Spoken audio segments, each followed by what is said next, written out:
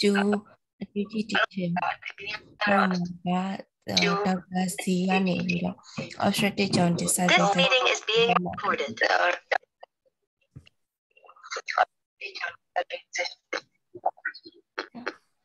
ချာလာလေ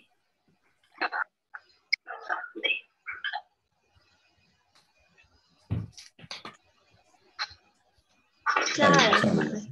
ကဲ အားလုံးပဲအားလုံးပဲမင်္ဂလာပါကျွန်တော်ဒီနေ့ပြောမယ့်စဒီနေ့ပြောမယ့် topic ကတော့ဒီကတော့ obstructive jaundice ပေါ့မယ်ဒါပေမဲ့ obstructive jaundice ကိုပြောမယ်ဆိုရင်တော့ jaundice အကြောင်းကိုနားလည်မှာဖြစ်မှာဆိုတော့ sense jaundice တွေ jaundice general generally jaundice ကိုရင်ပြောမယ် generally generally jaundice ကိုရင်ပြောပြီးတော့မှဆရာ obstructive jaundice အကြောင်းပြောပြမှာပေါ့နော်ဒါမှပဲ obstructive jaundice ဆိုတာ အဲတခြား jaundice တွေနဲ့ဘယ်လိုခွဲခြားပြီးတော့ဘယ်လို diagnose လုပ်ရမလဲ treatment လုပ်တာတော့သူက cause ကိုသိပြီဆိုရင် treat လုပ်ရတာလွယ်တယ်အဓိက diagnosis ကပိုအရေးကြီးတယ်အတွက်ဆက် jaundice အကြောင်းကိုအဲအရင်ပြောလိုက်မယ်လေအဲ obstructive jaundice ကတော့ surgical jaundice ဆိုတော့တခြား jaundice တွေက generally ပြောမယ်ဆိုရင်တော့ medical jaundice လို့ပြောလို့ရတာပေါ့အဲ့တော့ medical ဘက်ကလည်း jaundice ကိုသင်ခဲ့ပြီးလောက်ပြီးလို့ဆရာထင်တယ်အဲ့တော့သင်ပြီးပြီဆိုရင်လည်းနောက်ထပ် repetition ပေါ့လေပြန်ပြီးတော့ memory လေးအဲပြန်ပြီးတော့ရအောင်လို့သဘောထားပြီးတော့ပဲနားထောင်ကြပါလေအဲ့တော့ဆရာတို့ jaundice ကိုဆရာမဲ့ဒီ objective တွေပြီးဖို့လိုတာပေါ့နော်အဲ jaundice ဆိုတာပါလေသူ့ physiology ကပါ pathophysiology ကပါလေအဲ့တော့ jaundice ကိုဘယ်လို classify လုပ်ထားတယ်လဲ medical jaundice နဲ့ surgical jaundice ပြီးတဲ့အခါကျဆရာ causes ပြီး clinical presentation ပေါ့နော် clinical feature ဘယ်လို diagnosis လုပ်မလဲ management ဘယ်လိုလုပ်မလဲဆို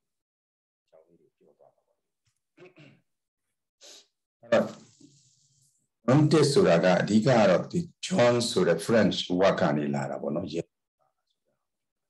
တော့ဇာတော့ဒီ jaundice လို့ပြောလိုက်ရင်မသိပါနဲ့ medical student တွေလည်းမြင်ဘူးသူကဒီ yellow discoloration of skin sclera and mucous membrane ဝက်တကူလုံးမှာရှိတဲ့ mucous skin နဲ့နောက်တစ်ခုကမျက်လုံးမှာရှိတဲ့အဖြူရောင် the white eyes ပေါ့နော်အဲဒီ sclera မှာ အကြောင်းက yellow ပြောင်းသွားတာပေါ့။ဘာကြောင့်ပြောင်းသွားလဲဆိုတော့ခန္ဓာကိုယ်ထဲမှာ bilirubin တွေများလာလို့ဖြစ်တာ။အဲတော့ bilirubin တွေများလာလို့ဖြစ်တဲ့ဟာကအဲပုံမှန်ကဒီ normal ကိုဆရာတို့ရေးမထားဘူး normal ကဆရာတို့ဒီ UK မှာတော့ less than 17 millimole per liter ပေါ့နော်အဲ့ဒါက normal အမ်နောက်တစ်ခုကကျွန် milligram နဲ့ဟိုတုန်းကတော့ milligram နဲ့ဆိုရင်တော့1 to 2 milligram per deciliter ပေါ့နော် အဲ့တော့ yellow ဖြစ်လာဖို့ဆိုရင် more than 50 micromole ရှိရမယ်ပေါ့ not millimole micromole ပေါ့နော်အဲ့တော့အဲ့လို bilirubin များလာပြီဆိုရင်ခန္ဓာကိုယ်မှာ jaundice ဆိုတဲ့ jaundice ဖြစ်လာတာပေါ့အဲ့တော့ jaundice ဆိုတာကအဓိကမှတ်ထားဖို့က not the disease ပေါ့အဓိကတော့ clinical signs ပေါ့သူ့မှာ underlying pathology ရှိမယ်အဓိကကတော့သူ clinical signs တွေနဲ့ပေါ်လာတဲ့ yellow color ကိုဆရာတို့ jaundice လို့ခေါ်တယ်အဲ့တော့ jaundice က pathophysiology ကိုကြည့်ကြမယ်ဆို jaundice ကဘယ်လိုဖြစ်လာလဲဆိုတော့ဒီ physiology မှာလည်းသင်ခဲ့ပြီးသားဖြစ်မှာပါအဓိကတော့ red blood cell ပေါ့ erythrocyte erythrocyte တွေကသူ့ရဲ့ life life span က90 days ရှိတယ်ဒီကောင်ဒီ O ဖြစ်လာပြီဆိုရင်ဟိုသွားလဲဆို spleen ကိုသွားတယ် spleen ကိုသွားပြီး spleen မှာဒီကောင်တွေကဒီကြီးလာတဲ့ O ဖြစ်လာတဲ့ RBC တွေ break down ဖြစ်တယ် အဲ့တော့ဒီအသစ်တွေကတော့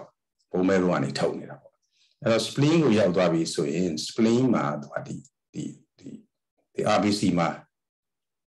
ဒီတည်တဲ့အတိုင်းပဲအယောင်ပေါ့အနေရောင်ရှိတဲ့ hemoglobin ရှိတယ် hemoglobin ကို spleen မှာသူ break down လုပ်တဲ့အခါကျတော့ heme နဲ့ globin ဆိုပြီးတော့ protein globin ကတော့ protein ပေါ့ heme ကတော့ pigment ပေါ့ဒီနှစ်ခုခွဲထုတ်လိုက်တယ်ခွဲထုတ်လိုက်တဲ့အခါကျတော့ဒီ heme ကနေမှ bilirubin ပေါ့ ဒီ bilirubin ကအဲ့ဒီ bilirubin က water insoluble ပေါ့သူ unconjugated bilirubin ဖြစ်ဒီ unconjugated bilirubin ကိုသူက water insoluble ဖြစ်တဲ့အတွက် protein နဲ့ bound လုပ်ပြီးတော့မှသူက blood ထဲကိုပြန်ပို့လိုက်ပြီးတော့သူက blood ထဲကနေမှ liver ရှူပို့ပေးလိုက်တယ်သူကအဓိကက liver မှာသူက conjugate လုပ်ရတယ်အဲ့တော့ heme ကနေပြီးတော့ဒီဘက်မှာဆရာပြတာလေ heme ကနေပြီးတော့အဲ biliverdin ပေါ့ biliverdin ကနေမှ biliverdin reductase ဖြစ်တယ်အဲ့ရနေမှ bilirubin ထွက်လာတယ်ဒီ bilirubin ကို liver ကိုပို့ပေးလိုက်တယ် liver ကြတဲ့အခါကျမှ UTP GD ဆိုတဲ့ glucuronoside transferase enzyme နဲ့သူက glucuro glucuro glucuronic acid နဲ့ပေါင်းလိုက်တယ် conjugate လုပ်လိုက်တယ်လုပ်လိုက်တော့မှ bilirubin ကဘာဖြစ်လာလဲဆို water soluble ဖြစ်လာတယ်အဲဒီကောင်ကိုဆရာတို့က direct bilirubin လို့ခေါ်တယ်အဲဒီ water soluble ဖြစ်တဲ့ကောင်ကမှသူကသူသူ့ကိုဘိုင်းထဲကိုပို့ပေးလိုက်ပြီးတော့ဘိုင်းထဲကနေမှသူက intestine ထဲကိုရောက်သွားတယ် intestine ရောက်သွားတဲ့ခါကျတော့ urobilinogen ကိုသူကဒီ bacteria တွေက oxidize လောက်လိုက်တဲ့ခါကျတော့မှသူကဒီ starcobilin ဆိုပြီးတော့အဲ feces ထဲမှာပါလာတယ်အဲဒီ urobilinogen ကိုပဲ the blood ထဲကနေပြီးတော့သူက kidney ကိုပို့လိုက်တဲ့ခါကျတော့ kidney ကျတော့ urobilinogen ကနေ urobilin ဆိုပြီးတော့ urine ထဲကနေတခါထုတ်တယ်အဲ့တော့အဲ့ဒီဒီ starcobilin နဲ့ urobilin နဲ့သူတို့ကအယောင်ကအဝါရောင်ဒါကြောင့်မို့သူဒီလူတွေရဲ့စီးတွေ the feces တွေကကာလာကအဝါဖြစ်နေတယ်အဲ့တော့အဲ့ဒါက bilirubin ရဲ့ physiology ပေါ့အဲ့တော့အဓိကအရေးကြီးတာက spleen မှာ RBC တွေ break down ဖြစ်တယ်ထွက်တဲ့အတွက် heme ထွက်လာတယ် heme ကနေ bilirubin ဖြစ်တယ်ဒီ bilirubin ကို protein နဲ့ပေါင်းလုပ်ပြီး liver မှာသွားပြီး conjugate လုပ်တဲ့ process ပေါ့အဲ့ဒါပြီးတော့မှ liver ကနေထုတ်တဲ့အခါကျတော့ biliary canaliculi ပေါ့ the binder အသေးလေးတွေကနေပြီးတော့ဒီကောင်အကုန်ရေထဲမှာပျော်တဲ့အတွက်ထည့်ပေးလိုက်ပြီးတဲ့အခါကျတော့ဒီ biliary tract ကနေပြီးတော့မှ intestine ကိုပို့ပေးတာအဲ့ဒါကအဓိကဆိုတော့ classify လုပ်ကြမယ်ဆိုရင် jaundice ဖြစ်လာဖို့ဆိုရင်ဒီ bilirubin တွေအများကြီးဖြစ်လာဖို့အတွက်ကသူ cause ကိုအဓိက၃ခုခွဲလိုက်တာပေါ့နော် pre post hepatic cause ဆိုဆိုအဲ့တော့ pre hepatic cause ကဆရာတို့ပြန်ကြည့်လိုက်မယ်ဆိုရင် liver ကိုမရောက်ခင်မှာဖြစ် pre hepatic cause liver မှာ conjugate လုပ်တဲ့အချိန်မှာကျတော့ liver မှာဖြစ်တဲ့ဟာကို hepatic ဟို hepatic liver ကနေပြီးတော့ဘာ biliary tract တွေကိုပို့ပေးလိုက်တဲ့ဖြစ်တဲ့အားတွေကို post hepatic cause လို့အဲ့တော့ pre hepatic cause က RBC breakdown တွေဖြစ်ပြီးတော့သူကဒီ liver မရောက်ခင်မှာဖြစ်တဲ့ cause တွေကဆရာပြောသွားတယ်လို့ပဲ liver မှာ conjugation မလုပ်ရသေးတဲ့အတွက် unconjugated အ post hepatic ကြတော့ conjugate လုပ်ပြီးတော့မှသူကနေ biliary tract ထဲကိုပို့ပေးတဲ့နေရာမှာပြဿနာရှိတဲ့အခါကျတော့သူက conjugate လုပ်ပြီးမှဖြစ်တဲ့အတွက်သူ့နေရာမှာပြဿနာဖြစ်ရင် conjugate လုပ်ထားတဲ့ဟာတွေပဲဖြစ်တယ်ပြီးလို့လို့မြန် conjugate လုပ်ထားတဲ့ကောက်တွေအဓိကများတာပေါ့နော်အဲ့တော့ liver ကြတော့ပြန်ကြည့်လိုက်ရင်ကျွန်တော်တို့ပြန်ကြည့်လိုက်ရင်ဘာမှကြတော့သူက conjugation လုပ်တယ် liver မှာ conjugation လုပ်တဲ့အခါကျတော့ liver cell တွေကိုသူကပို့တဲ့ mechanism ရှိတယ် liver cell တွေကိုသူအရင်ပို့ရတယ်ပို့ပြီးတော့မှ liver cell ထဲမှာသူက conjugate လုပ်တယ်ပြီးတော့မှအဲ့ liver cell ထဲကနေပြန်ထုတ်တယ်အဲ့တော့သူက conjugation လုပ်တဲ့ enzyme ပြဿနာရှိရင် liver cause မှာပြဿနာ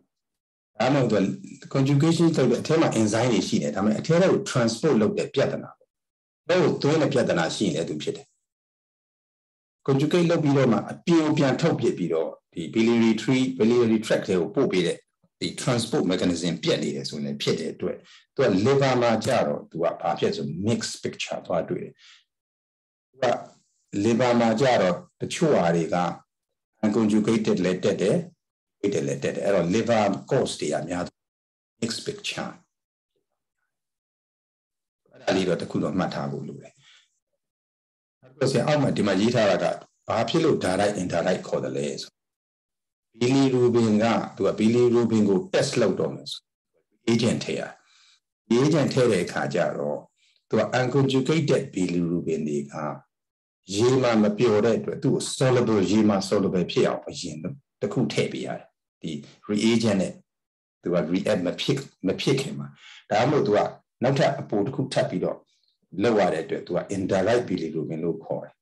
ဟို conjugated bilirubin ကကြတော့သူကရေမှာပျော်တဲ့အတွက် reagent နဲ့ directly သူက react လုပ်တဲ့အတွက်သူ direct bilirubin လို့ခေါ်တာအဲသူနည်းနည်းလေးဟို knowledge အနေနဲ့သိအောင်ပေါ့နော်အဲဒါဆရာတို့က prehepatic cause ရှိတယ် hepatic cause ရှိတယ် post hepatic cause ရှိတယ်အဲတော့ post hepatic cause ကိုဆရာတို့က surgical cause or obstructive jaundice လို့ခေါ်တယ်။ဘာဖြစ်လို့လဲဆိုတော့ most of the causes တွေက surgically treat လုပ်ရတဲ့ဟာတွေမဟုတ်ဘူး prehepatic နဲ့ hepatic တွေက medical cause တွေပေါ့ surgically ကိုဘာလို့ဘာမှလုပ်စရာတိတ်မလိုတဲ့ဟာတွေဆိုတော့ medical cause လို့ဆရာတို့ generally အဲတော့ prehepatic jaundice မှာဆိုရင်အဓိကကတော့ bilirubin တွေအများကြီးထွက်လာတယ်အများကြီးထုတ်တယ်ဟာပေါ့အဲခုနဒီ RBC တွေ breakdown တွေအရင်များလာတဲ့အခါကျတော့ some reason မ cost တစ်ခုကြောင့် RBC breakdown များတယ် liver ကနေ conjugate လုပ်နိုင်တဲ့ capacity ပြီးတော့သူကအများကြီးဖြစ်လာတယ်ဟာဒီအဲ့ prehepatic jaundice တွေမှာ predominantly သူကဒီ unconjugated bilirubin တွေအများကြီးတက်လာတယ်သူက unconjugated bilirubin တွေများတော့ liver လည်းသူ့အလိုတော့ပုံမှန်ကြီးတော့လုံနေတယ်ဒါပေမဲ့သူမနိုင်တော့မနိုင်တော့တဲ့အခါကျတော့ဒီအပိုတွေကတက်လာတော့သူက water insoluble ဖြစ်တယ်အဲဒါကြောင့် ဒါကြောင့်မလို့ဒီ prehepatic cause တွေမှာဆိုရင်သူ့အတူ conjugate လုပ်တဲ့ process က normal ပဲဖြစ်နေတဲ့အတွက်သူက urine color နဲ့ stool color က normal ပဲဖြစ်တယ်အဲ့တော့ hemolysis ဖြစ်တဲ့အတွက် hemolysis နဲ့ပတ်သက်တဲ့ clinical signs and symptoms တွေ likes anemia တို့တော့ဒီ hemolysis နဲ့ပတ်သက်တဲ့ကောင်တွေက spleen ကြီးတဲ့ဟာတွေဆိုတော့သူကဒါဆရာတို့ generally ပြီးတော့ပြန်ပြောပြပါမယ်ဟို clinical presentation တွေပေါ့ generally မှတ်ထားရင် anemia ရဲ့ jaundice က splenomegaly ရဲ့တခြား hemolysis နဲ့ပတ်သက်တဲ့ဟာတွေနဲ့တွဲနေတဲ့ကောင်တွေကအဲ့တော့ hemolysis ဆို blood disorder တွေပေါ့အဓိကတော့ blood disorder hereditary spherocytosis ဆို liver ဒါ RBC တွေက breakdown အရင် thalassemia တို့ sickle cells တို့ G6PD အဲ့ဒီကောင်တွေကတော့ blood excess မှာဖြစ်တယ် blood က RBC ကတော့ကောင်းတယ်ဒါပေမဲ့ hemolysis ဖြစ်တယ်တခြား cause တွေကြောင့်ဖြစ်တဲ့ဟာတွေဥပမာအခုက parasites တွေပေါ့ဆရာတို့အဲ့တော့မလေးရီးယားဖြစ်တဲ့လူတွေမှာဆိုရင်ဒီ hemolysis တွေဖြစ်ပြီးသူတို့တွေမှာဒီမလေးရီးယားဒီဖြစ်တဲ့အချိန်မှာဆိုရင် jaundice တွေပါတွေ့တတ်တယ်အဲ့တော့ဒါက prehepatic ပေါ့နော် hepatic jaundice မှာကြတော့ဆရာတို့မှပြောတယ် hepatic ဒီဘက်ကပြထားတဲ့ hepatocytes ထဲကို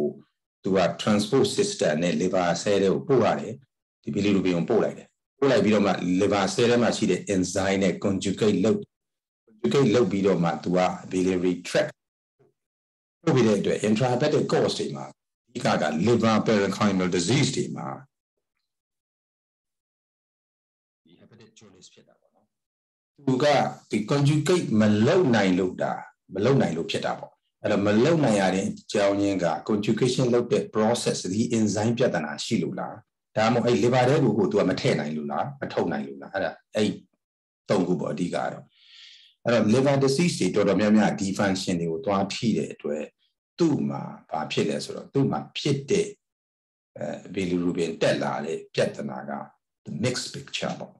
unconjugated လည်းတက်တယ် conjugated လည်းတက်တယ်အဲ့တော့သူ့မှာရှိတဲ့ different causes မှာကြည့်လိုက်မယ်ဆိုရင် viral hepatitis ဆိုရင်သူ predominantly unconjugated တွေများတယ်ဒါပေမဲ့တချို့ cause တွေရှိတယ်ဥပမာ biliary stasis ဖြစ်တဲ့ကောင်တွေရှိတယ် primary biliary cholangitis တို့တချို့ drugs တွေကြောင့်ဖြစ်တဲ့ cholestasis တွေဖြစ်ရင်သူက conjugated bilirubin ကပိုများတယ်ဒါပေမဲ့ unconjugated လည်းများတယ်အဲ့တော့သူ့မှာတော့နှစ်ခုစလုံးများတယ်အဲ့တော့ hepatic jaundice တွေရဲ့ cause တွေ alcohol hepatitis တွေရှိတယ်အမှားပြီးမှာ common ဖြစ်တာ viral hepatitis တွေရှိတယ် drugs တွေ drugs တွေမှာ drugs တွေအဆုံးပါပဲဒါပေမဲ့ဒီ autoimmune hepatitis နောက်ဟိုဒီ congenital primary biliary cirrhosis တို့ primary sclerosing cholangitis တို့ liver cancer တို့အဲ့မှာဖြစ်တယ် now iatrogenic cause တွေပေါ့ iatrogenic cause တွေမှာလည်းအဲ liver ကျူစာတွေဒီဒီဒီ hepatic jaundice ဖြစ်တာတွေရှိတယ် now ဒီ hereditary နဲ့ပတ်သက်တဲ့ဟာတွေပါဒီမှာဆရာရေးထားတယ်အဲ့ဒါဘာလို့ရေးထားလဲဆိုတော့တချို့စာအုပ်တွေမှာအဲ့ဒါတွေကတိတ်အရေးများတယ်များတဲ့အခါကျလူကလေးတွေကမှတ်မှတ်ကြတယ်ဟာ Gilbert syndrome cricula nature syndrome Ajuviju syndrome Rota syndrome အဲ့ဒါတွေကအဲ့ဒါအဲ့ဒါကိုမှတ်မိတယ် ဒါပေမဲ့အဲ့ဒါတွေဒါကြောင့်မလို့အဲ့ဒါတွေကဘာလဲဆိုတာလေဆရာနည်းနည်းလေးအထက်အမြင်ပြောပြမယ်ဆရာတို့ငယ်ငယ်တော့ဒီမှတ်ထားတယ် Gilbert syndrome Gilbert syndrome ဆိုတာအမှန်တော့ French နေသူကတော့ပြောတယ် Zebon Zebon လို့ထွက်တယ်လို့ပြောတယ်ဒါပေမဲ့ဆရာတို့ကတစ်သက်လုံးမှတ်နေတာတော့ Gilbert ပဲအမှန်တော့ Zebon Zebon syndrome လို့ခေါ်တယ်အဲ့ဒါနဲ့ cricula cricula nature နဲ့သွားတူတယ်သူကဘာလဲဆိုတော့ဒီဒီ glucuronoside transferase enzyme မရှိတဲ့ဟာမရှိတဲ့ဟာ အဲ့တော့မရှိတဲ့အတွက်သူက conjugate ကောင်းကောင်းမလုပ်နိုင်အဲ့ဒီနှစ်ခုမှပြန်ခွဲဖမ်းလိုက်ရင် Gil ဒီဒီ Gilbert syndrome ကသူက very mindful သူအသက်ကြီးလာတော့မှသူကသွားတွေ့တယ်သူဘာလို့ဆိုတော့သူက very ဒီဒီ enzyme deficiency ကပိတ်မစိုးတဲ့အတွက်အသက်ကြီးလာတဲ့လူပဲဖြစ်တယ်ဒါမှမဟုတ် teenage တွေပဲဖြစ်လာတဲ့အချိန်ကျရင် stress ဖြစ်တဲ့အချိန်ကျမှသူက jaundice လေးပေါ်ပေါ်လာတယ် stress တွေများလာတဲ့အခါမှာ infection တွေရတယ် ခါကျရန် stress များတဲ့ဟာတွေ exercise တွေအများကြီးလုပ်တဲ့ဟာတွေတခြားယောဂတွေပဲဖြစ်တယ်အဲ့ဒါမျိုးတွေဖြစ်လာတဲ့အခါကျတော့မှသူက jaundice ကပေါ်လာတယ် critical nausea ကြတော့သူ့ထက်ပိုဆိုးတယ်ပိုဆိုးတဲ့အတွက်သူက infant မှာကလေးမွေးကစားမှာပထမတရက်နဲ့မှာရတယ်ကောင် jaundice မို့ infantile ဒီ jaundice နဲ့လာရပေါ့နော်အဲ့ဒါက conjugation ကြောင့်ဖြစ်တဲ့ဟာ Jubin Johnson နဲ့ Rota ကပြဿနာပါလို့ Jubin Johnson ကဒီ hepatocyte ကအထဲထဲကိုအထဲထဲကို ဒီဟို transport လုပ်တဲ့ mechanism မကောင်းတဲ့အတွက် Jubin Johnson ကအဲ့လိုပဲကလေးဘဝမှာ infant မှာတွေက jaundice ဖြစ်တယ် Rota ကြတော့သူကအထဲကိုထဲတဲ့ transport mechanism ကိုအပြင်ကိုထုတ်တဲ့နှစ်ခုစလုံးသွားဖြစ်တယ်အဲ့တော့သူတို့နှစ်ခုကလည်းဘာကွာလဲဆိုတော့နှစ်ခုစလုံးကအဲ့လိုငယ်ငယ်မှာ jaundice ဖြစ်တယ် rotor က very ပို့ပြီးတော့ mind form ဖြစ်တယ် jumin jusin ကထူးခြားတာကသူ့မှာ liver က black color ဖြစ်တယ်သူ့သူ့ရဲ့ဒီ pigment တွေ ဒီ pigment ကလည်းပြောတော့ melanin နဲ့တော်တော်လေးတူတဲ့ pigment တွေသွားပြီးတော့ဒီ deposit ဖြစ်တဲ့အတွက် black color ဖြစ်ပြီး rotor က liver က normal appearance ရှိတယ်လို့ပြောတယ်ဒါပေမဲ့အဲ့ဒီဟာတွေကတော့တိတ်အရေးကြီးတော့မဟုတ်ပါဘူးဒါပေမဲ့ဒီခါကျရင်လူနာတွေကိုကြည့်လိုက်တဲ့အခါကျရင်ဟိုဆရာတို့ဒီ UK မှာဆိုတိတ်ပေါ်တယ်အဲ့ဒီအဲ့ဒီ Gilbert syndrome ဆိုတဲ့ဟာဟိုခဏခဏတွေ့တယ်လူလူနာတွေမှာလေအဲ့တော့ post hepatic post hepatic ကဆရာဒီနေ့တကယ်တရားမှာ post hepatic ဆိုတော့ surgically treat လုပ်လို့ရတယ်ဆို surgical jaundice လို့အဲ့တော့သူ့မှာကြတော့ခုနပြောတဲ့ conjugate လုပ်ပြီးသား bilirubin တွေကို biliary tree တွေကိုထည့်ပေးလိုက်တဲ့ဟာမှာအဲဒီ biliary tree တဲ့နေရာမှာပေါ့ပိတ်နေပေါ့ပိတ်နေတဲ့အတွက်အ jaundice ဖြစ်တဲ့အတွက် conjugated bilirubin တွေတက်တယ် water soluble bilirubin တွေတက်တယ်အဲ့တော့တက်တဲ့အတွက်သူကဘာလဲဆိုတော့ water soluble ဖြစ်တဲ့အတွက်များလာတဲ့အခါကျတော့သူကရေထဲမှာပျော်တာပျော်တဲ့အခါကျစီးထဲမှာလည်းအများကြီးဖြစ်လာစီးထဲမှာလည်းအများကြီးဖြစ်လာတယ်အဲစီးထဲမှာအများကြီးဖြစ်လာတဲ့အတွက် तू ကလူနာကပြောမယ် तू စီးကအရန်ကိုဟိုဒိတ်တက်ကာလာပေါ့ကိုကာကိုလာကာလာယူရင်းလို့ပြောတယ်ဂျွန်းတရှိတယ်စီးအရန်အယောင်ရင့်တယ် ဒါပေမဲ့ဘီလီနီထရက်မှာသွားပိတ်နေတဲ့အတွက်ခုနဟိုယူရိုဘီလီနိုဂျေက intestine ကိုမရောက်ဘူးစတာကိုဘီလီမရှိတဲ့အတွက်သူတို့ကပြောတယ်သူတို့ရဲ့ဝင်းကဖြူးနေတယ်လို့ပြောတယ်။ဒါကြောင့်ကာလာဖြော့လာတယ်အဲဒီဟို clinically သူတို့စောက်တွေမှာပြောတာတော့ chalky white chalky white stew ပေါ့တကယ်ကိုဒါမြေဖြူမြေဖြူဖြူတယ်လို့မျိုးဖြူလာပြီးတော့ဒီခုနပြောတဲ့ conjugated bilirubin ဒီ water soluble ဖြစ်တဲ့အတွက် skin မှာသွားပြီး deposit ဖြစ်တဲ့အတွက်သူက skin မှာရတယ်အဲ့တော့ mostly က painless ဖြစ်တယ်လို့ပြောပေမဲ့ stone ကြောင့်လည်းဖြစ်နိုင်တဲ့အတွက် CBD မတော့ CBD ပေါ့ common bind တဲ့မှာ stone ကြောင့်ပိတ်တဲ့ဟာဆိုရင် stone နဲ့တွဲရင်တော့သူက infection ရှိတတ်တဲ့အတွက် pain နဲ့လာတယ်ဒါပေမဲ့အများစုက malignant cause ဖြစ်တဲ့အတွက် painless ပေါ့ painless ဖြစ်တဲ့အတွက်လူနာကလည်းတခါကျရင်သူ့အနေနဲ့သူနေ့တိုင်းကိုကိုကိုကိုကြည့်နေပြောင်းပြောင်းလာတာမသိ မသိတဲ့အခါသူ့အတူ jaundice ဖြစ်နေတာကိုသူမသိသူများသောအဖြစ်ကဘေးကလူက notice ဖြစ်တော့မှအာမင်းဝါနေပါလားဆိုတော့မှဟိုသူတို့သိကြတယ်အများကြီးဒါကြောင့်မလို့သူတို့ရဲ့ jaundice က very deep jaundice နဲ့လာတဲ့အတွက်လာတဲ့အချိန်ကျရင်သူကအဲ့တကယ်ကို very dark color urine pale stew ပေါ့နော် white stew chalky white stew နဲ့ဒီအရေးပြားတွေရတယ်အဲကုတ်ထားချစ်ထားတဲ့ဟာတွေတွေ့တယ်ပေါ့နော်ဟုတ် အဲ့ဒါက very typical ပါအဲ့ဒါတွေ့ရင်ပြီးဆိုရင်ဒီ post septic cause ပဲဖြစ်ဖို့များတာကဒီကောင် malignant ဖြစ်ဖို့များတယ် painless ဖြစ်တဲ့အတွက်အဲ့တော့သူ့ရဲ့ cause တွေကိုကျတော့ပြန်ပြောလိုက်ရင်သူကဒီ biliary tree ကိုဟိုအရင်ဆရာဟိုတခုတင်တော့ကဟိုပုံလေးတွေနဲ့ပြဖို့လေအဲ့တော့ biliary tree မှာ CBD ဆို common hepatitis biliary common bile duct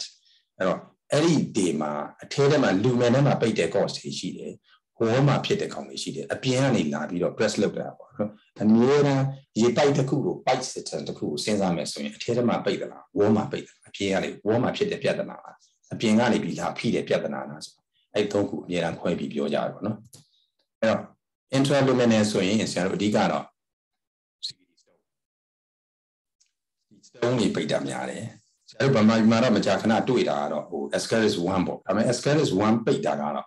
completely ပိတ်တာတော်တော်ရှာအဲဆို तू ကဒီ one set အတိုင်းအထဲကိုဝင်လာပြီးပိတ်တဲ့ဟာပြီးရင် तू ကသေသွားပြီးအထဲထဲမှာခြောက်နေတဲ့အခါ completely ပိတ်တာရှားပါတယ်ဘာဖြစ် infection နဲ့ colon နောက်တစ်ခုက liver fluke liver fluke ပေါ့အဲ့ဒီ parasite ကြောင့်လည်းပိတ်တာများတယ်ဒီ wall မှာဖြစ်တဲ့ဟာတော့ biliary atresia ပေါ့ hereditary ပေါ့ congenitally biliary tree ကကောကောင်းကောင်း development ဖြစ်တဲ့ဟာတွေရှိတယ်အဲ့တော့ cholangiocarcinoma cancer တွေရှိတယ် congenitally ဖြစ်တဲ့ choledochal cyst တွေရှိတယ်နောက်တစ်ခုကကြတော့ benign and malignant structures တွေရှိတယ်အဲ့ဒါတွေကဒီဒီဒီ iatrogenic structure တွေပေါ့တခါကျရင် gallbladder ထုတ်ရင်းနဲ့ CVD သွားထိသွားထိတဲ့ကောင်တွေကနေ structure ဖြစ်သွားတဲ့ကောင်တွေရှိတယ်ခါကျရင် gallbladder CVD ကိုသွားထိတာမဟုတ်သွားထိတာမဟုတ်ဘဲနဲ့ဒီ hepatic artery ကိုသွားထိလိုက်တဲ့ခါကျတော့ hepatic artery ကိုထိလိုက်တဲ့အတွက်သူက ischemic injury ရပြီးတော့ structure ရသွားတဲ့ဟာမျိုးတွေရှိတယ် ဒီ gallbladder cancer ကတော့ gallbladder cancer itself ကသူကတခါကျရင်အပြင်ကနေဖိတာရှိတယ်လို့ပဲတခါကျရင်သူက spread ဖြစ်ဖို့ wall မှာ spread ဖြစ်ပြီးတော့သွားဖြစ်လို့ဖြစ်တဲ့ဟာက mural cause ပေါ့နော် extra mural ကတော့ common ဖြစ်တာကဒီမျိုးတော့မကြာခဏတွေ့မှာက pancreatic cancer တို့ ampullary cancer တို့ပေါ့နော်။အဲတော့ ampulla ဆို ampulla of vata ကနေပြီးတော့ဒီနားတွိုက်မှာဖြစ်တဲ့ duodenal cancer တွေကလည်းပိတ်တယ်။တချို့ ဟာတွေကြတော့ chronic pancreatitis မှာပိတ်တယ်ဒီတချို့ mass တွေကြတော့ lymphoma လို့ဟာမျိုးမှာ lymph glands တွေကြီးပြီးအဲ့ lymph gland ကသွားဖိတာရှိတယ်ဆရာအောက်ဆုံးမှာရေးထားတဲ့ Mersey syndrome ဆိုတာကတော့ gallbladder မှာ gallbladder ရဲ့မှာရှိတဲ့ stone ပဲဒါပေမဲ့များသောအားဖြင့် Hartmann pouch ထဲမှာရှိတယ် Hartmann pouch ထဲမှာ stone ကြီးရှိတဲ့အခါကျတော့ Hartmann pouch ကအဲ Hartmann pouch ထဲမှာ stone ကြီးရှိပြီးတော့ cystic duct လေးကတိုးနေတဲ့အခါကျရင်တစ်ခါတစ်ခါကျရင် तू က CBD ကိုအပြင်ကနေသွားဖိတာရှိတယ်အဲ့ဒီဟာကိုဆရာတို့က Medici syndrome လို့ခေါ်တယ်မကြာခဏအဲ့ဒါတွေ့တယ်ဘာလို့ stone ကြီးတဲ့လူကတခါကျရင်အဲ့ပိန်းရတယ်ဒါပေမဲ့တိတ်မဆိုးဘူးဆိုပြီးတော့တခါကျရင်ပိန်းရရလိုက်ပြန်ကောင်းလိုက်ရလိုက်ပြန်ကောင်းထားထားထားထားတဲ့ခါကျတော့ stone ကြီးကကြီးကြီးလာအဲ့ stone ကြီးကကြီးလာတဲ့အပြင်မှာ infection ကြောင့်အဲ့နားတွိုက်မှာ ဒီ inflammation နဲ့ fibrosis နဲ့ဖြစ်တဲ့အခါကျတော့ CBD ကိုသူအပြင်ကသွားဖိတဲ့အခါကျတော့ဒီလေ obstructive jaundice နဲ့လာတတ်တယ်အဲ့တော့ဆရာတို့ခုနကဆရာပြောထားတဲ့ဟာတွေကိုဆရာ summarize လုပ်ထားတဲ့ဟာပေါ့နော်အဲ့တော့ prehepatic cause hepatic cause hepatic cause မှာ physiology ကိုဆရာအပေါ်မှာပြောထားပြီးသားဆရာကပြောထားတဲ့အဲ့တော့ prehepatic cause မှာ unconjugated တွေများတယ် conjugated ကို conjugate in, in other words ဆိုရင် indirect တက်တယ် post hepatic မှာတက်ပေါ့ direct ပြီလို့ပြီးနေတက်တယ် urine ကာလာက prehepatic မှာ normal ဖြစ်တယ် post hepatic မှာ very dark ဖြစ်တယ် hepatic မှာကျတော့ urine ကာလာ dark ဖြစ်တယ်ဒါပေမဲ့ post hepatic cause လောက် dark ဖြစ်ချင်မှာဖြစ်တယ် stool ကာလာကျတော့ prehepatic နဲ့ hepatic ကများသောအားဖြင့် normal ဖြစ်တာများပြီးတော့ post hepatic က pale stool ဖြစ်တာများ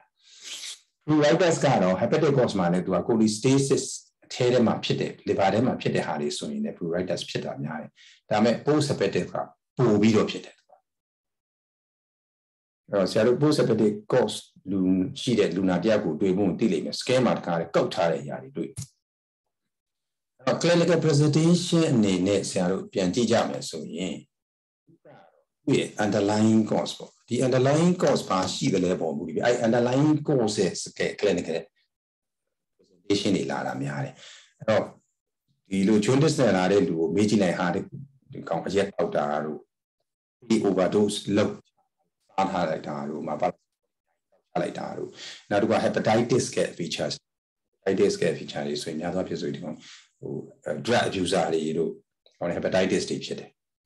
နော်အဲ ဒီဟိုအဲ့တော့ hepatitis ဖြစ်နိုင်တဲ့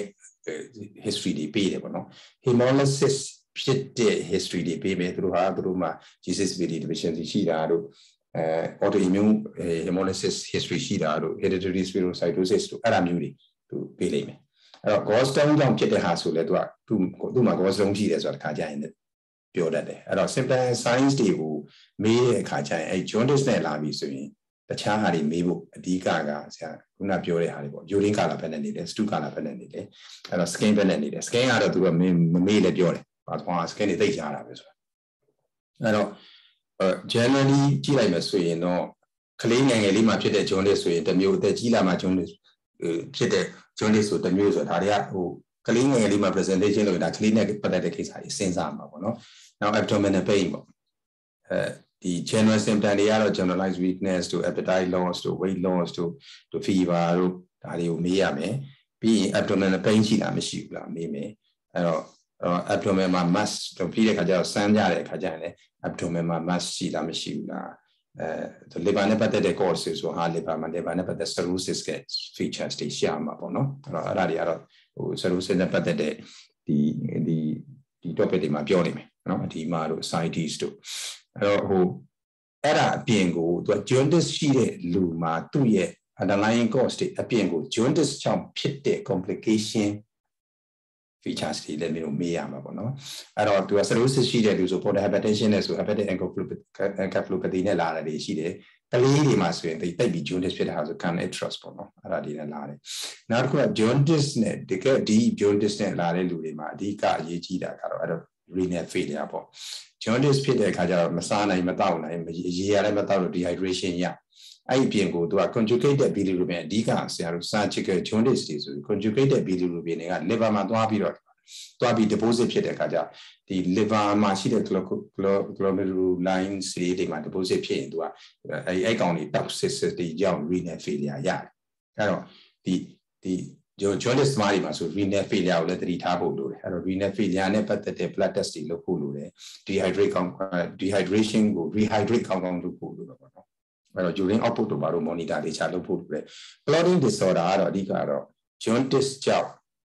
တဲ့ဆိုင်တော့အဲ့ဒီ liver problem တွေပေါ့နော် liver မှာဖြစ်တဲ့ဟာမျိုးတွေ jaundice တွေတိတ်များလာပြီဆို liver မှာပါအမှ obstructive jaundice လို့ဟာမျိုးဆို obstruction ဖြစ်တာများလာရင် liver မှာ blood pressure များလာတယ်ဆိုရင် liver ရဲ့ function ကိုထိလာတာပေါ့ထိလာတဲ့အခါကျရင်သူက clotting disorder ရတယ်ဒါကြောင့်မလို့ဆရာတို့က deep jaundice သမားတွေဆိုရင် clotting ကိုတေချာ test လုပ်ပြီးတော့ prothrombin တိုင်းတွေတက်တယ်ဆိုရင်ဆရာတို့ vitamin K တို့ FFP တို့ပေးရတယ်ဆရာတို့တခုခု procedure တခုလုပ်တော့မယ်ဆိုရင်ပေါ့နော်အဲ့တော့အဲ့မှာ clinical presentation မှာဆရာဒါလေးကတော့နည်းနည်းသိအောင်ပြော voice ရ voice ရ law ပေါ့ voice ရ law ကတော့ကြားဘူးလိမ့်မယ်ဟို German physician သူက jaundice မှာတဲ့ jaundice မှာတဲ့ abdomen ကိုစမ်းလိုက်လို့ gallbladder ကြီးကြီးနေပြီဆိုရင်တဲ့ anus jaundice လည်းဖြစ်တယ် gallbladder ကြီးကြီးနေပြီဆိုတကယ်လို့သူက gallbladder ကို obstructive jaundice picture လည်းရှိတယ် gallbladder စမ်းလို့မမိဘူးဆိုရင်တော့လေသူက stone ဖြစ်ဖို့များတယ်။ဘာလို့ stone ဆိုရင်သူက infection နဲ့တွဲတာများတဲ့အတွက် infection ခဏခဏရတယ်ဆိုရင်တဲ့ inflammation ကြောင့် gallbladder က shrink ဖြစ်သွားတဲ့အတွက်ဒီ distension ဖြစ်ဖို့ နည်းတယ်ပေါ့ဒါက100%တော့မမှန်ဘူးတခါကျရင်ဆရာတို့ stone မှာလည်း gallbladder ကြီးတာတွေတွေ့ဘူးအဲ pancreatite ဒီ gallbladder ကြီးတာတွေ့ဘူးပြီးတော့ malignant cause မှာလည်း gallbladder မကြီးရလည်းတွေ့ဘူးတယ်ဘာလို့အထူးသဖြင့်ဆရာတို့ ampullary အဲ tumor တွေဆိုရင်သူကတေးသေးလေးဆို ampulla ကတေးသေးလေးဆိုတော့သူ tumor ဖြစ်တာနဲ့ပိတ်တာနဲ့ချက်ချင်းပိတ်တာနဲ့ချက်ချင်းဟိုပါဖြစ်တယ် ဒီ malignant cause တွေကြတော့တစ်ခါတစ်ခါကြာရင်ကြာကြီးနေမှာဒီ CA pancreas တို့ပါလို့ဆိုကြာမှဆိုတော့သူကတေချာပေါ့ gallbladder ကိုဟိုစမ်းလို့မိတာများတယ်ပေါ့နော်အဲ့ဒါကိုကဘောက်ဆရာလို့ခေါ်တယ် Murphy signs ကတော့ကို gallbladder stone မှာတော့ပြောခဲ့ပြီးဖြစ်နေမယ် Murphy sign positive ဘာပြီးတိုင်း negative ဆိုတော့ပြောကြတယ်နောက် charcoal trial ဆိုတာကတော့ဆရာတို့ cholangitis မှာပြောတဲ့ဟာ pain ရ fever ရ jaundice ကဆရာတို့ intermittent pain တို့ recurrent fever တို့ဒီ the fluctuating jaundice တို့ဒီဆရာတို့ပြောကြတယ်အဲဆရာတို့ဗမာပြည်မှာဆရာတို့အချိန်တုန်းကတော့အဲ့စကလုံးလေးတွေကိုတေချာမပြောနိုင်ဆရာတွေကလည်းရစ်အဲ့ intermittent pain ဖြစ်ရမယ် recurrent fever ဖြစ်ရမယ် fluctuating jaundice ဖြစ်ရမယ်ဆိုတာပါအဲ့လိုမျိုးအရေးကြီးပါ pain and fever ရဲ့ jaundice က3ခုကြာလို့ charcoal try ရခေါ်ပြီးတော့ pain and fever ရဲ့ jaundice blood order mental status hypotension renal pentac လို့ဆရာတို့ခေါ်တယ်ဒါကတော့ just knowledge ပါ အဲ့တော့ surgical jaundice နဲ့ medical jaundice ဘယ်လိုခွဲမလဲဆိုတာဒီ surgical jaundice မှာ pain နဲ့ temperature နဲ့တွဲလာတယ်ဆိုရင် stone ကြောင့် painless jaundice very deep weight loss ရှိမယ် pruritus နဲ့လာမယ် color stew နဲ့လာမယ်ဆိုရင် malignant ပြီးရင် conjugated bilirubin များမယ်ပြီးရင်သူက obstructive jaundice ဖြစ်တဲ့အတွက် liver function test လုပ်ပြီးဆိုရင် alkaline phosphatase တက်တယ် gamma GD တက်တယ်ပြီးရင် gallbladder ကြည့်မယ် abdomen မှာတခြား mass တွေစမ်းလို့ရမယ်ခါကြရင် pancreatic cancer တွေမှာ mass ကြီးတွေစမ်းလို့ရတယ်မှာရောက်လာတာတွေရှိတယ်ဒီ